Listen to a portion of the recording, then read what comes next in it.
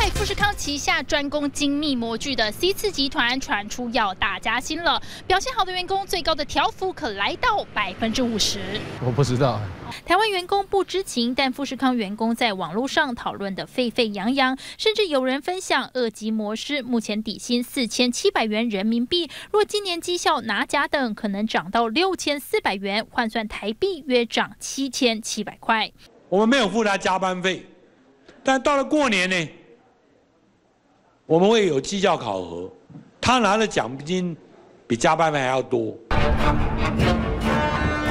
最快九月七日就会生效，渴望成为红海加薪首梯，而背后推手就是副总裁许木基。因为 C 次集团在机器人和光学镜头模组研发量产皆并重，核心产品更包含苹果电脑和 iPhone。董事长郭台铭要拼自动化，自然得先论功行赏。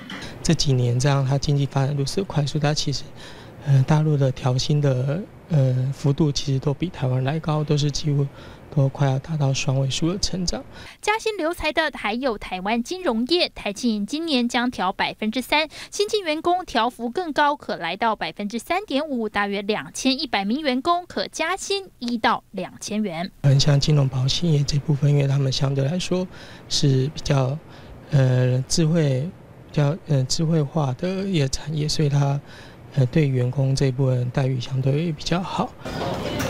强人大战，各产业都打出高薪留才，稳住竞争力。东森财经新闻综合报道。